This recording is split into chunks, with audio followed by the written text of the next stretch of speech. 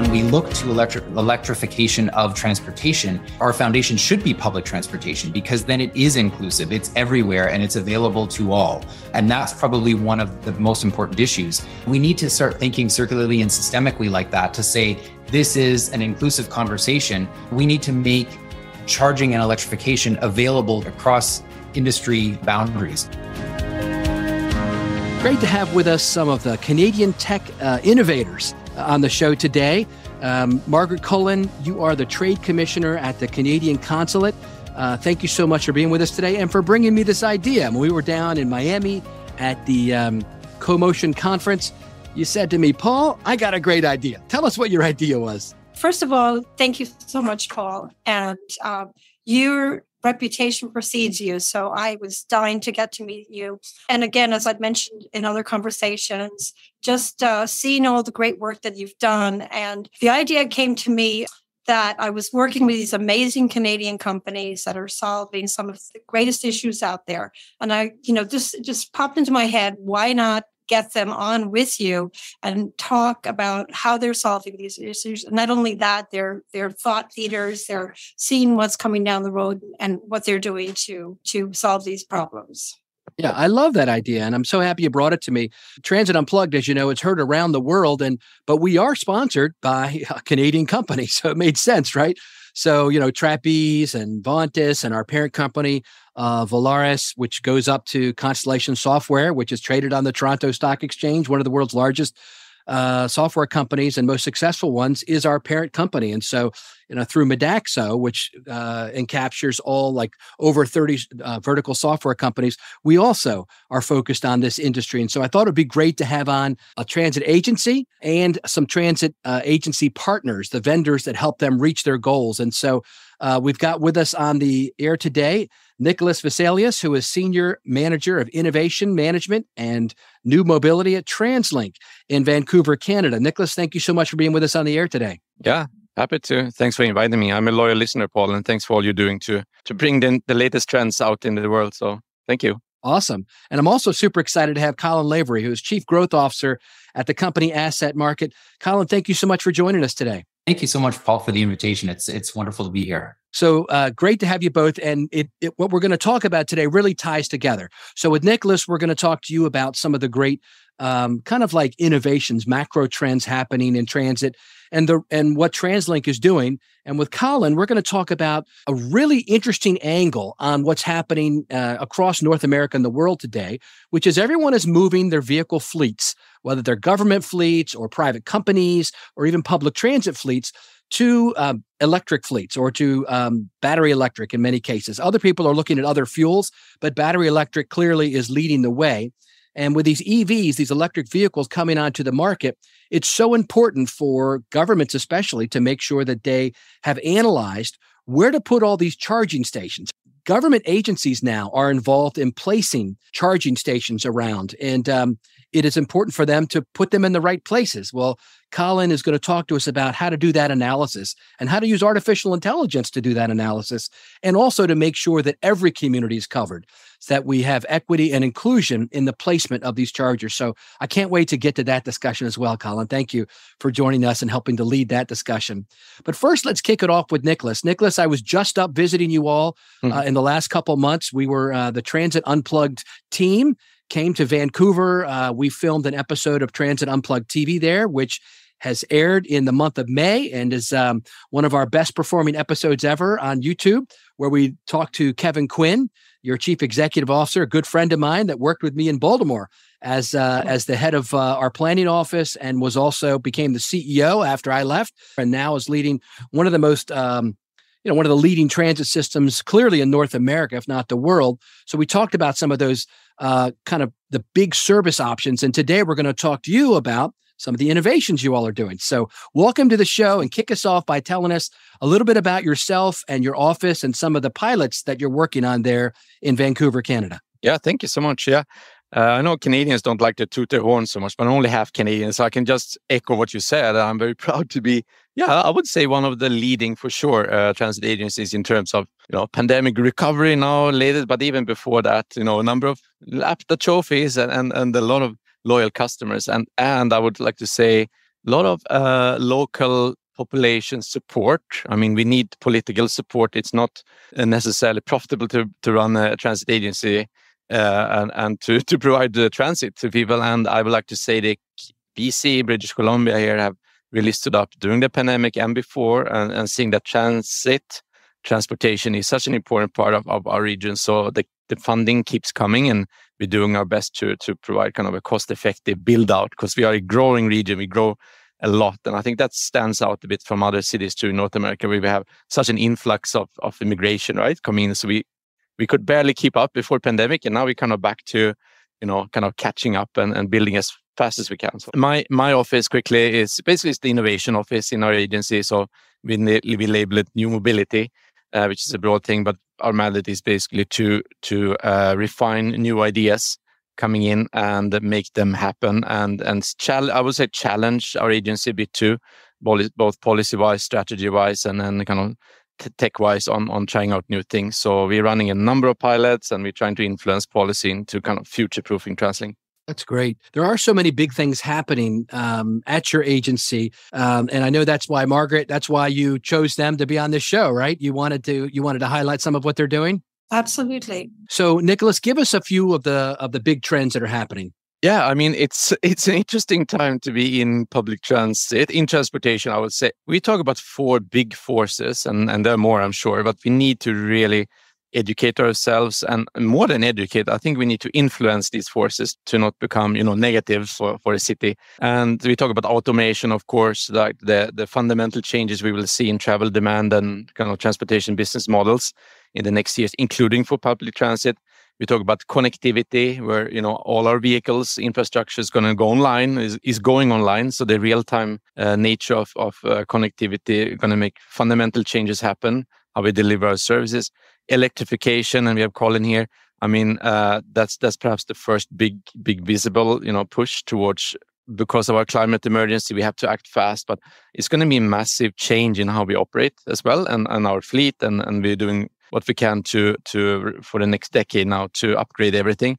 And then perhaps the most uh, powerful, I would say, but easy to forget, is the the customer's change of perception and and the new business models that comes with that. So, I mean, car sharing and bike sharing and and shared micromobility is one example of people are thinking a bit differently and on how they stitch their you know travel patterns together. And I think that kind of public perception that that customer uh, change those changes are very important and they come with really interesting new business models that le- legitimately kind of can compete with with the personal uh, vehicle so a lot of things happening. That's great. One of the things we we uh, are hearing a lot about right now uh, in the spring and early summer of 2023 is artificial intelligence uh, with the advent of chat gpt it just seems like it's really just coming into the public consciousness, the zeitgeist moment of uh, AI. And every day I see articles about how AI is going to, you know, solve so many problems for us.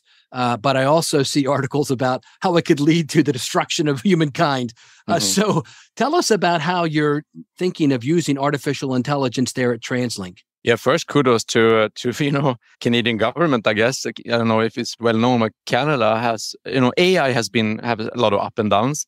I, am I'm, I'm an old you know academician myself, uh, and I, I followed not AI necessarily, but a lot of research trend. They've been you know from the 60s, 70s, you know, have been hyped and and going up and down. And Canada has throughout these years been funding research in AI. So I, th- I would say Canada number one is uh, one of the leading nations uh, and doing a lot of really cool research here. We should tap into that. Now AI uh, hit us pretty hard, right? We we from from like uh, not thinking about it, being very you know kind of again academic and and um, abstract we see real world applications now, uh, good and bad. I think we have to be careful, but optimistic. we are already trying out a few things. You asked about some pilots we're running. We are using AI to to uh, make kind of dumb traffic cameras, and we have a bunch of them in the city. Much smarter and start to collect data on congestion and and vehicle types and all that. That that's one one way to kind of leverage AI. You can use kind of dumb uh, physical infrastructure, but with a smart AI brain and help us with that. We're using AI for bus predictions and there's there's much more to come preventive maintenance and all that now ai in a sense is, is not smart than the humans who are coding it so we have to be careful to make sure that equity concerns and and a lot of other other things we as humans we take for granted is is kind of coded into the ai but in general i see a lot of opportunities and and we have to uh, you know start trying them out Colin, uh, let's mix this up a little bit and bring you into the conversation. With artificial intelligence, my understanding is you guys are using artificial intelligence to help people analyze where the best place is to put these EV chargers. Is that right? Well, what we're doing is we're we're understanding the data that we have access to, and that uh, different organizations are collecting and storing. And what we're doing is we're trying to uncover that data and trying to overlay it uh, to be able to demonstrate demand, to be able to demonstrate use, and then to be able to predict where the demand is going in the future so that we understand exactly what we need today and we can evaluate whether we're hitting the mark and then we can look to tomorrow. We can look to a year down the road. We can look to five years down the road and potentially 10 years down the road. And we can understand where we need to be so that we can start to make those plans and to take those actions today. Margaret, I know uh, without maybe naming the governments you've talked to, but um, tell us what you're hearing from local governments that they are right now starting this process of, or maybe they've already started it, but they're in the process of trying to figure out where to put all these, right? They're getting, there's federal money coming in. Talk to us a little bit about what you've heard so far. Sure. So, yes, a lot of federal money come in, coming in as we know. So I think the problem is is where again going back to where do you put these uh, charging stations, and if they're put in the wrong place, it can cause fires, it can cause all kinds of havoc. I know that the transport the transport agencies are you know they're putting out our RFPs on this, looking at companies who can help them solve these issues. And I think going back to what TransLink said, it's having the right partners. Uh, it's not just going to be, it's no, there's no one silver bullet. It's going to be different companies, entities working together uh, to make this, you know, easier because otherwise we're going to have a bit of chaos down the road. But I think in order for this to work out, we do need to work together and AI is going to be pivotal in, um, in making this happen. Yeah, where you and I met was at CoMotion uh, Miami, and uh, there was a lot of talk at that conference. I consider that one of the most forward-leaning conferences when it comes into tech uh, that I that I go to on a regular basis. And there were a lot of companies, a lot of vendors there talking about their role in the ecosphere that's coming of this big push and billions and billions of dollars being put into the market. Niklas, you you all at TransLink, I know when I talked to Kevin Quinn, a big hunk of your fleet is already electrified but you're also moving that way when it comes to your buses, right? Yeah, we call them trolley buses. Yeah, we have a big trolley bus. Uh, I mean, as as many cities had a long time ago, right? Uh, it's an old technology. Now uh, we we geographically a very spread out region. Uh, I don't know uh, those who haven't visited, and please come visit Vancouver. I mean, we call it Metro Vancouver. We have 23 municipalities or mayors competing, being together here in a large geographic space with bridges full, but you know we have these choke points and, and large geography try to serve. So we know that some 35%, I think, of all uh, greenhouse gases here come from transportation is the largest source of, of GHG, like greenhouse gas in the region. So we have committed, I would say, quite aggressively to to really electrifying our bus, bus fleet, and we uh, we are aiming to become net zero GHG uh, by 2050. That means that we're gonna have to get going quickly with with the help of innovation, you know, in the industry, our our OEMs, Nova and New Flyer others. We are as quick as we can, I would say, and can finance it, electrifying our buses. We have chosen uh, in depot charging. It's easy to say that you equip and buy these buses, but you have to have the infrastructure behind it, and uh, and and we have to build out these charging stations and plan the system. And I think again, AI might might be instrumental in trying to uh, really balance and see where these chargers should be, even for us. How often should the buses charge and and all that? Because it's kind of a bit of a tension between providing the best possible service and and having the buses charged. So it's going to be a whole layer of new kind of bus management uh, included. That, and I think the hundreds of buses now we are committed to buy is going to make change our operation. Remember, to our you know going from combustion engine to electric, it, it takes some labor um, uh, upskilling and, and reskilling. We are not sure. Like I would say, if and I'm I'm not an expert, but if we would switch everything on on electric now, and including privately owned, our grid here in BC will not be able to handle it. So we're working closely with BC Hydro, kind of utility companies, to make sure that the infrastructure is ready. And then, of of course, we have the the big thing. We are lucky to have a lot of green uh, energy, but I mean, going electric uh, in transportation um, only makes it better, the world better, if we have clean primary energy, right? So we cannot start, you know, burning up coal or oil or whatever to make the electricity and then run our buses. We have to have a whole kind of value chain uh, or supply chain thinking of securing the electricity in a clean way. So very complex, but but I think it's a big, big move um, towards this. And and then we have our role, and I will finish with that as an influencer, where I think interesting talk to Colin too, where yes, we can electrify all our buses and and and whatnot, but the big, of course, game changer is um, the private loan vehicles. And if we can make it easier and help to build the ecosystem and infrastructure to support the whole kind of holistic electrification of all transportation, that would be uh, really good, right? So we're working on that as well. That's great. Yeah, let's bring you into the conversation, Colin. So, talk to us about uh, not only the importance of you know analyzing where these stations need to go, charging stations, but also ensuring that we uh, you know do this with the lens of equity and inclusion to make sure that all communities are co- are covered by this uh, charging technology. Yeah, absolutely. And I, and I think, you know, to lead off, I would say that Margaret and Niklas hit on uh, two of the key foundational uh, items in in the way that we need to think about the proliferation of this and and the equity and inclusion, and that is uh, partnerships and circular thinking. So we need to understand right down at the grassroots level what is required from from which partner uh, and how do we go about bringing the, the the majority into that conversation?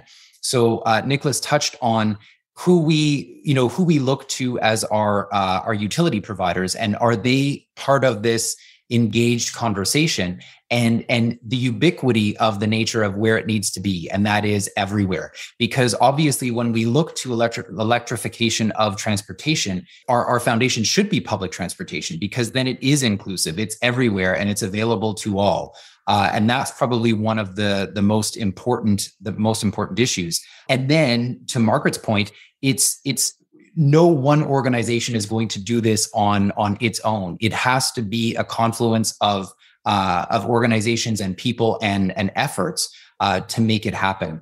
So Great, looking at uh, at all of the different types of partners, whether they be software AI partners, whether they be utility partners, uh, and and local communities, local governments, uh, or the aggregation thereof, as Niklas mentioned in the Metro Vancouver area. Um, you know, we need to start thinking circularly and systemically like that to say this is an inclusive conversation. Uh, we need to make charging and electrification available to to you know uh, across uh, across industry uh, boundaries. So looking to public transportation industries and then looking to availability for your individual user who will not have a choice soon enough. You know the the the effort that will be undertaken about trading your car in or or acquiring a new car um, the choice is going to be electric. And so it's a matter of how do we prepare ourselves for that tsunami and the way that we're going to be moving, uh, both as it, you know, and it, as an individual, but then also as part of a, a local community. That's great, Colin. Niklas, talk to us about that partnership that Colin just raised, which is how that public transit agencies and local governments may not have all the solutions among their own quote employees, but the partners that they utilize and the and the way transit agencies can best utilize those partners in the private sector. Mm-hmm. Yeah, I think that's an important point. There's an element I would say of like not invented here and all that in all all large organizations, right? We have so many smart people, a lot of ideas brewing, and and we have to take that I would say first internal innovation seriously as well uh, to empower staff to really get those ideas up to the top and we get them funded. But yes, no matter how many people we have, uh, smart people within the innovation and the big shifts are happening in industry, in part in academia so I think uh, it's important to open up at least a few windows for a transit agency, kind of get out there, show show that you don't have all the answers. We have a bit of a almost, I would say, uh, responsibility as as the public, you know, you know quasi monopolist, at least on public transit here in in uh, when you take that kind of role, have that kind of mandate, broad mandate, you have to set aside time and effort and money to reach out to uh, external innovators, see what they have. We have a few channels, uh, clear kind of cutout channels like our open in- call for innovation and and our kind of academic research funding program where we actively go out and say, hey, we don't have all the answers. We are interested in your help. We want to work together with you. And here is kind of the way to do it. So so I think to be out there also in conferences and and talk about this thing, then I think in the end it's about trust, right? Um, especially many small innovators, I, I, can see small companies have good ideas. They see transit agencies uh, as the government with the big G, hard to work with, bureaucratic, and they won't take me serious and all this. I, I like to say like we need to be uh, create lower barriers of entry for also smaller SMEs, kind of smaller companies, individual innovators, and others to reach out to us. It can be as easy as having a clear point of contact to give them feedback, to involve them, be out in hackathons and, and show ourselves and you know visit CoMotion and, and talk about these things. But I think in the end it's about trust building and saying that yes, we have the interest, and we have the mechanism and the funding ready to try out things that are not fully baked. We don't necessarily only have to work with the Microsofts and the IBMs, nothing wrong with them, but we also have a lot of lo- really good local companies, I guess around the world, smaller companies that we are work kind of would like to co-create ideas with and maybe share the uh, IPR later. But I think those those things have to happen, and we are slowly getting there.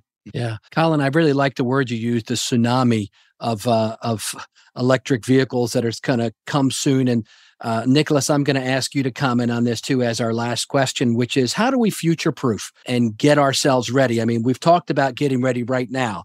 So, Colin, you've talked about the importance of figuring out where do these charging stations need to go now. You've talked about uh, making sure that the value chain all the way up or the supply chain is clean as well. But let's look to the future. What are your thoughts on kind of future proofing for private companies, for government agencies when it comes to this area of um, clean fuel, clean technology?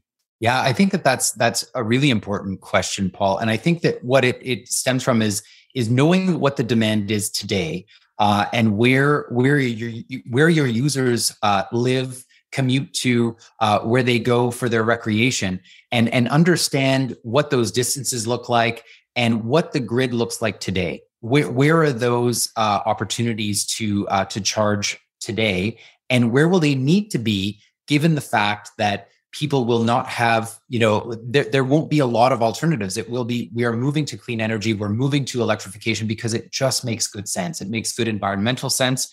And where do we need to have those that that infrastructure located in order to be able to meet that demand? So to be able to you know open up to the fact that this is coming and and now is the time that we can do all of this amazing research that we can that we can partner together just as niklas and as margaret have mentioned uh, and we can start that dialogue and we can really start to lay a good strong foundation for where we will need to be in you know 5 years 10 years 15 years from now so that we're prepared for it. And and i think it was margaret who opened up the conversation earlier today about you know a lot of public funding being placed into this realm because because it does make good environmental sense. It, it does make sense for our planet. And it's looking at how do we best use those research dollars and those funding dollars for infrastructure today? And then how do we set the the course for the future? Um, and it's understanding where supply is located today and where demand is moving tomorrow. And how do we ensure that a all of those those partners along the value chain are prepared? So are the utilities prepared? Are the ev charging companies prepared? Are all of the users prepared? And uh, and margaret is right. There there's a lot of funding available uh, and and how do we use it wisely today so that we're not five years from now saying oh oops yeah, it didn't really make sense to put those 15 chargers along that stretch of the freeway in, yeah. XYZ location. And, you know, one of the things that Margaret said as well earlier in the conversation was really poignant. And that is, you know, we want to be able to understand where to place the infrastructure to avoid uh, accidents or catastrophes. And that's very important. But additionally and coupled along with that it's we want to make them we want to make them available in spots that make uh, user and economic sense as well. So, where are we going to get the best return on investment for all of this infrastructure? Because it is very expensive, it is very dear, and we want to treat it that way right from day one. We want to say we want to make the most intelligent siting decisions we can based on where the usership is today and where it's moving to uh, in 5, 10, 15 years, as I mentioned. And that bodes true for individual users, just like the four of us, but it also bodes true for large scale, uh, large scale organizations like public transportation, like school bus fleets, like long haul trucking fleets. All of those industries are looking to electrification as well, because as I mentioned, it just makes good sense. Uh, and all of the backwards work and thinking that has to go into all right so if we want to electrify this fleet of school buses we need to understand what the routes are. No different from you know the way that niklas's organization is probably looking at uh, the buses in the in right. the vancouver area. So how many average riders do we have per route? And does does that make a difference? What is our climate? And so where are these charging hubs that we need to have based on ridership and perhaps weight that that's in the vehicle on the climate or or what kind of HVAC you're going to be running in these vehicles and how will that have an effect on the the the frequency and the length that we will have to make these vehicles stop and charge back?